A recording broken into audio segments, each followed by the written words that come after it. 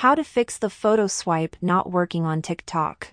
So if you are on TikTok and you want to create the photo slideshow, but the feature isn't working properly or it's simply missing, then follow my steps to learn how to fix this problem and get the slideshow. This works on both iOS and Android devices and let's open our TikTok application. Now I'll tap on this little plus button to open my camera and then let's select a couple of photos from my photo gallery. I've selected three photos, and you can see that I do have this feature and that these photos are playing in a slideshow. They have this swipe animation which is cool, but if you don't have this, then you want to go back and go to your TikTok profile.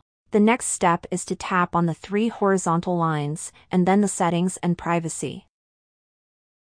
When you open the TikTok settings scroll all the way down until you can see this free up space option and let's open it. When we open this we need to clear both the cache and the downloads in here. Maybe we haven't cleared the cache files in a long time and that may cause some problems with the app.